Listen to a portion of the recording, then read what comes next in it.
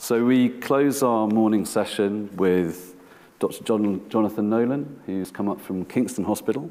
Dr. Nolan's a consultant gastroenterologist with, among other things, a specialist interest in inflammatory bowel disease, and he'll be talking about IBD flares and primary care.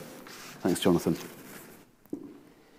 Well, thanks very much for inviting me to speak here today. Um, it's a, a real honour to join such a great faculty.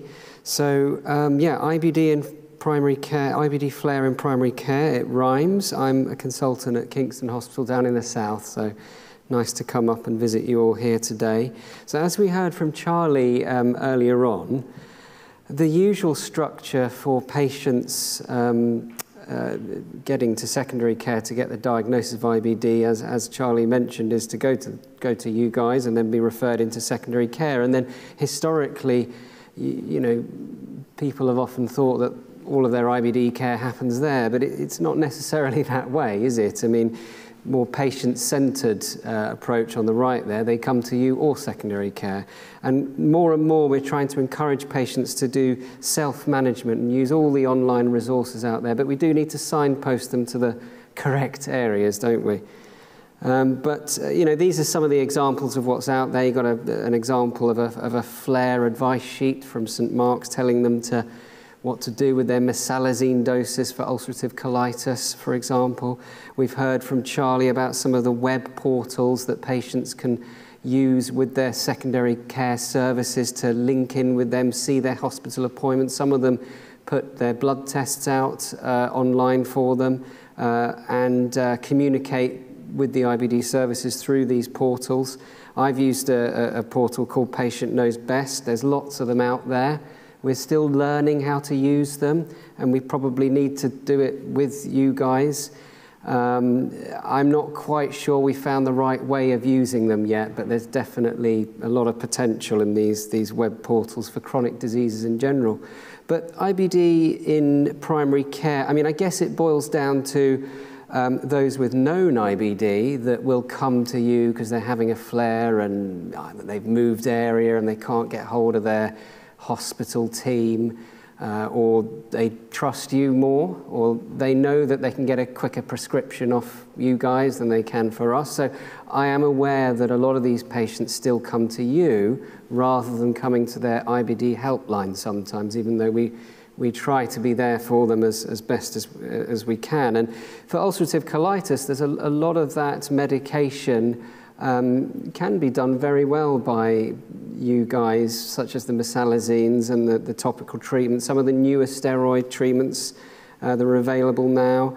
Um, Crohn's disease, uh, you know, with budesonide out there, very safe drug for ileal disease. I think you guys can start to become more involved in that. And then we're seeing a lot more of this other inflammatory bowel disease now, microscopic colitis, still a bit rarer than full-blown IBD, but it seems to be increasing in its incidence. And you, you, you guys are probably seeing a lot of budesonide out there, and it's, it's good for you to become familiar with that as well. New IBD diagnosis, the border between IBS, that's your bread and butter. We've talked about referral pathways there. Really, we should, as hospital physicians, be providing you with a sort of four-week wait service when you're really suspecting IBD. We need to be seeing or reviewing them within four weeks, and that's mandated by NICE, so make sure you are getting that service from your hospital provider.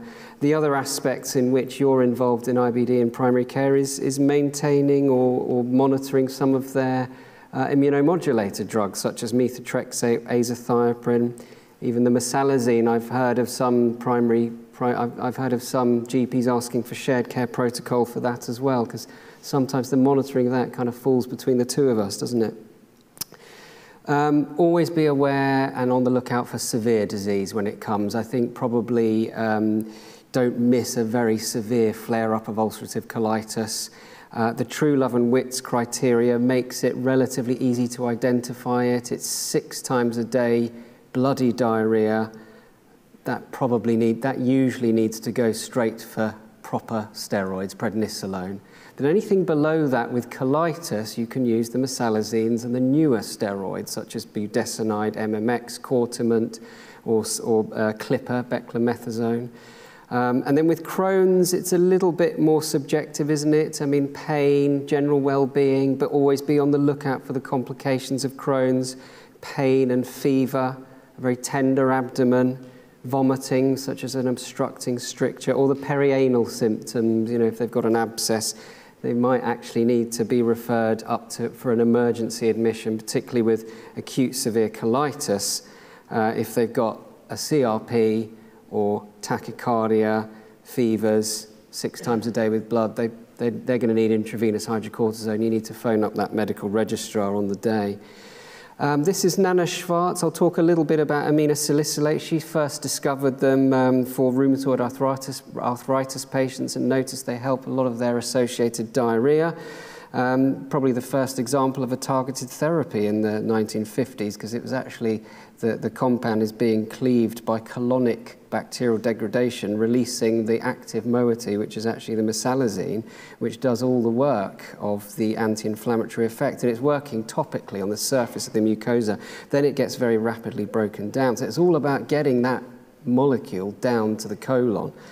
Uh, in colitis. Uh, some of the older ones, they were carrier molecules where they just try to carry the mesalazine down for bacterial degradation. But nowadays we use the oral modified enteric coated release mesalazines, don't we? The pentasers and the uh, salafalx and all the newer ones, which is all about the enteric coating, keeping it intact until it can release that drug lower down the gut. Because if you just give the neat mesalazine, it just gets absorbed into the bloodstream and doesn't even ever reach the colon and have that topical effect. And they remain first line in all of the standard uh, guidelines for IBD for mild to moderate ulcerative colitis. We know how effective this molecule is because if you've just got a little bit of proctitis, the response rate for a simple suppository of mesalazine is amazing. And we see this, and, and you guys see this, proctitis, flexi-sig, give them a suppository. It goes away within a matter of days. And this is a study from uh, Japan showing that the rectal bleeding is, is gone within three days, within about 80% of patients com compared to a placebo suppository. So it's all about getting this drug to the surface of the colon. These are the other topical rectal therapies. Some of them are available back there. And I think it's important to be, as doctors, aware of what we're actually prescribing because these are quite complicated and unusual prescriptions, aren't they? Just, you know, draw your attention to the Pentasa uh, enema is quite a difficult bottle to squeeze. You can have a go at, at the back there. Whereas the, the enema, it's a nice concertina uh, device there, which is a lot easier to collapse down for the patient. The foam tends to be better because it doesn't leak out, it's not a liquid. Suppositories, that Pentasa suppository, I've had patients describe that to me as a rock, feels a bit like a rock. So I think those bullet-shaped suppositories such as Salofalk or Octasa tend to be a lot easier for patients to put, to put in. One of the problems with the, these topical therapies is that they are absolutely brilliant. I mean, they're going to get this drug right to the area. The majority of ulcerative colitis is distal or left-sided. But, oh, you know, as a maintenance thing, this is quite hard for patients to do. And there are studies out there showing that up to 68% of patients just can't keep this going every single day. So we do need the oral therapies, particularly for the maintenance. You know, when we've got them under control and we're then giving them their maintenance prescription afterwards, a lot of them will convert over to this. And that can be guided by the hospital, but we do need your involvement with this. Um, there's a lot of different products out there, they, and there are subtle differences between them all. So don't ever feel that we should be using one over another because they all have slightly different mechanisms of releasing the mesalazine. Pentasa is just gradually dissolving as the drug goes through the intestine. And so, it, you know, the delayed aspect to it tries to get some of it down to the colon. But the others are pH triggered because, as you can see in the diagram at the bottom there, the pH will gradually um, increase throughout the gut down towards the colon. So the others will trigger at pH 7 or 6. So Salofalk will, will, will start releasing the drug when it hits terminal ileum. Uh, and Asacol and uh, will do this when it's got into the colon, but some colons don't ever get to a pH of 7, and that's why you might hear patients describe, I'm actually seeing the Asacol tablet come out whole sometimes, or sometimes they just see the casing, it's split up somewhere, but you wonder how far down it's actually opened up. One of the big problems with misalazine is adherence with any chronic disease, young patients probably. Susie Kane did a lot of work of this back in 2006. She looked at the prescriptions being replenished in, in colitic patients and found that only 40% of them were actually picking them up over one or two years and repeating their prescriptions properly. Risk factors for them not doing this was pill burden, multiple daily doses and the rectal therapy. So it's important to think about that, that in these young patients. And these are all the different formulations, numbers of tablets. You can see some of these tablets you're needing to take up to 16 times a day. That's a sulfasalazine at full dose. You know, they, they, they just don't do that. Um, and that's why some of these newer agents lower down on this, this um, uh, table there, you know, you, there are some there you can just take one dose a day. Um, and that, I think, is important for patients. And, and again, these are available um, at the back there. Again, lots of tablets out there, and I don't think patients, young patients feel a bit strange taking multiple tablets a day when they're only 20 years old. And one of my personal favourites, pro probably the two in the top left there, the Salafalk 3 gram sachet is just one dose once a day. Job done. And it's the same with Pentasa. There's a four gram sachet with Pentasa as well, but again, that's got a slightly different release mechanism. But some of those tablets are huge. I mean, those Pentasa tablets are pretty big. Um, yeah, I mean, but the difference, I mean, are there differences? I mean, look, the Cochrane database, meta-analysis, and there's a meta-analysis saying, look, there's no major difference between all these different mesalazines. Um, but they're small studies, they're each got different inclusion, exclusion criteria, the way they're monitoring the disease. Some use endoscopy, some just go on different symptom scores. So I think it's difficult to be sure of that. There are some subtle differences when you look at individual uh, studies. Um, there's definitely differences in the pharmacokinetics.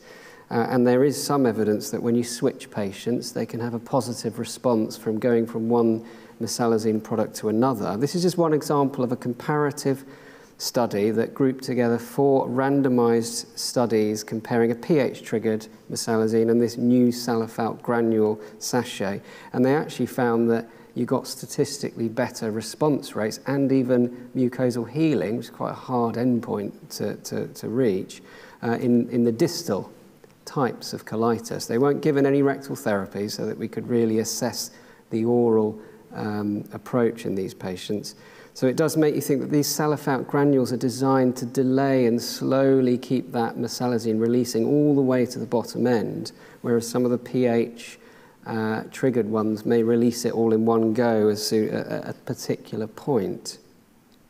And this is how they do it. The mesalazine, these new micropellets in that little sachet, they have uh, the micropellets which increase the surface area that will come into communication with the mucosa but they also have a matrix inside them which delays the release of the mesalazine once they've opened up.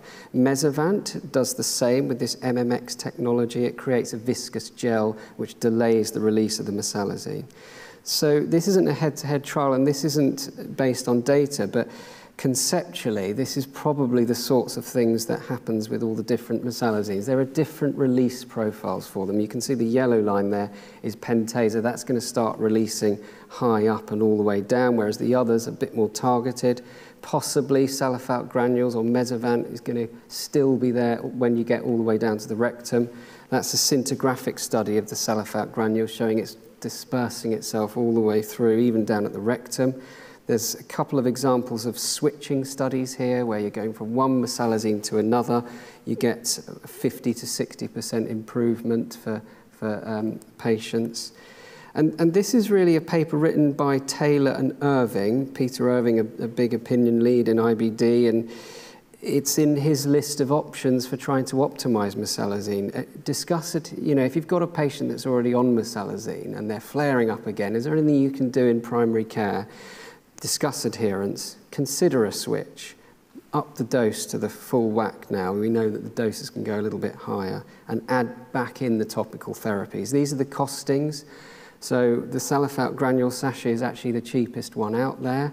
Um, so that's important to bear in mind. Monitoring in primary care, always do a baseline renal function before we start mesalazines orally then at three months, then annually, because this is very rare risk of um, tubular interstitial nephritis. We don't use it, mesalazines in Crohn's disease anymore. There's a meta-analysis now showing it doesn't really work in Crohn's disease. And what about other agents? I think you guys can become more familiar with this. There's budesonides out there now. They're perfectly safe, like mesalazines. So you can use these for mild to moderate disease. And with ulcerative colitis, you've got Cortiment, 9 milligrams, or Clipper, which is a beclomethasone, eight-week course, or you've got budesonide for Crohn's, Entocort or Budenofalk. Again, slightly different release mechanisms. In Budenofalk, you've got the granules again, the micropellets again, or tablets. Entocort's a bit like Pentasa. It releases it slowly all the way through the, the bowel, but um, the small bowel. But Budenofalk is pH triggered to the terminal ileum, so that fits well. But they've all got a very high first pass metabolism so they get broken down. This steroid isn't going around the rest of the body of these patients, so they're very safe, very few steroid-related side effects. And there's evidence, and, pay, and, and I've got some meta-analysis there of their efficacy in mild to moderate UC and mild to moderate ileal C called Crohn's disease. Just a little bit about microscopic colitis there. You're seeing us use it more and more, very effective budesonide and we're starting to use it a little bit for maintenance now as well. So you might see us asking you to carry it on. You've probably seen this at three or six milligrams. Perfectly safe to do that up to a year. Not sure beyond that, but we're using it more and more on a longer term basis. And then, of course, you've got your systemic corticosteroids for severe flare ups. So, in summary, I think in primary care, you are um, at the front line for optimizing these mesalazines and, and carrying them on for maintenance. You, topical treatments you can add in, the patients often come to you.